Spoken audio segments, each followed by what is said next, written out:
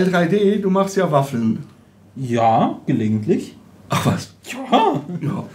Ähm, wusstest du eigentlich, dass schon bei den antiken äh, Olympischen Spielen äh, Waffeln ähm, vorkamen?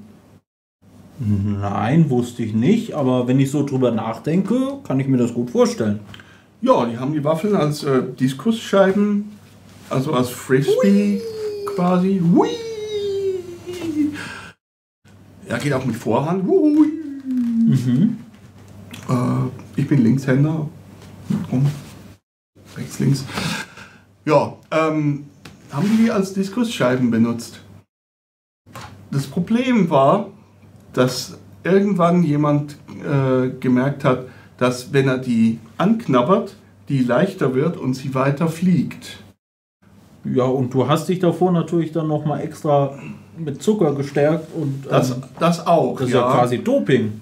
Ja, das war, das war dann auch Ui. der erste Dopingskandal. Ui. Alles wegen der Waffel. Das Problem war auch, dass so eine angeknabberte Waffel ja eine gewisse Unwucht hat und äh, bei dann auch ähm, Gefahr für die Zuschauer bestand.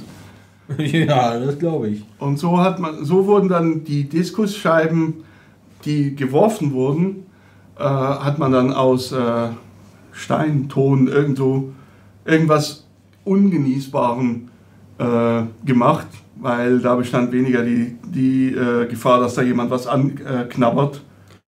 Habe ich in Heirat gemerkt. hat, aber- hat aber bestimmt zu viel Aufstand in der damaligen Bevölkerung geführt.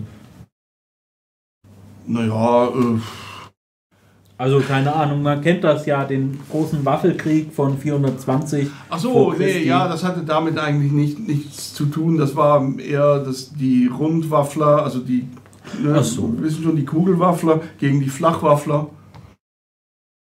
Das heißt, die haben dann, Ganz genau weiß man das auch nicht mehr. die haben dann eine runde Waffeldiskus. Nö, Kugelwaffel, Ach Kugelstoßen. So, Waffelstuhl. Kugelstoßen. Ui.